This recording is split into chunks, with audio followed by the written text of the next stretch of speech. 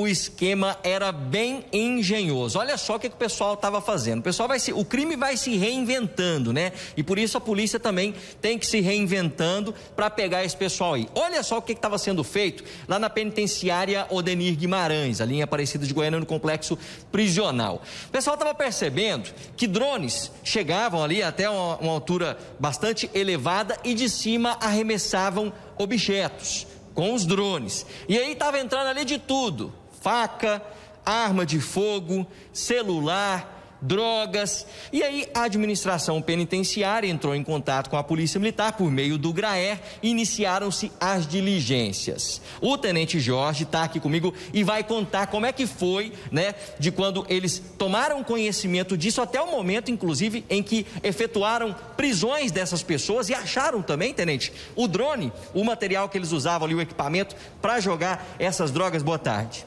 Boa tarde, Loares. Boa tarde a todos. É, essa operação ela foi realizada no sábado para o domingo, né, em conjunto com a agência prisional. Então, a agência prisional nos informou que desde novembro observava ali os drones lançando alguns objetos dentro da, da penitenciária Denir Guimarães. Através dessa troca de informações e integração entre os órgãos da Secretaria de Segurança Pública, PM e a agência prisional, conseguimos fazer alguns levantamentos aí do serviço de inteligência nosso juntamente com o DEGAP, e conseguimos aí chegar a um veículo suspeito. No sábado procedemos à abordagem nesse veículo. Esse veículo estava onde? Esse veículo estava ali no setor leste universitário. Após essa abordagem ao veículo, fizemos algumas diligências e conseguimos aí é, desbaratinar toda essa cadeia aí de dessa organização criminosa. Conseguimos é, pegar quatro pessoas, prendemos quatro pessoas né, quatro criminosos ali. Apreendemos o drone que foi utilizado para arremesso dos objetos ilícitos. Inclusive, eles pegam ali e dividem, né? Tava, foi, foram em vários locais, né, que foram apreendidos esses objetos. Inclusive, o próprio drone estava dividido pelo grupo criminoso. Sim, para dificultar o serviço da polícia, eles é, deixaram partes do, drones, do, do drone em três residências, né? É, desmontaram ele, deixaram bateria no local, as pás em outro e o corpo do drone em outra residência. Nós conseguimos ali fazer diligência em quatro residências, onde em todas conseguimos é, apreender droga, arma de fogo, o drone utilizado, o veículo utilizado pela essa organização criminosa. Quatro pessoas foram presas, inclusive uma mulher. E o que, que foi apreendido? Armas de fogo? Que tipo de droga?